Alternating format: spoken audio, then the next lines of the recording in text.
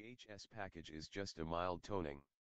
For $8,120, chump change in Ferrari land, it turns up the suspension stiffness a click or two, hastens the shift slightly, adds a few styling tweaks, and opens up the exhaust to deliver more sound if not more power.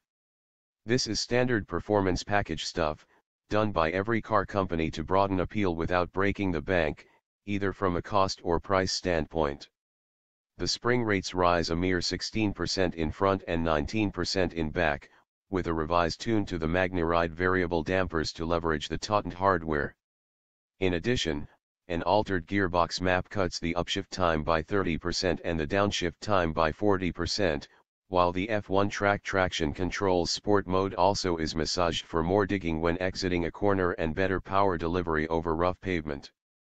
In back, the standard mufflers are replaced with straight-through pipes attached to a Helmholtz resonator, an acoustical box that diminishes undesirable noise while helping to shape the outgoing harmonic frequencies. The effect is a sharper roar, an average of 3 decibels louder across the rev range. Inside, there's a dash plaque, while on the outside the grille and rear lower valence are rendered in accent color gray to give the car a more purposeful appearance.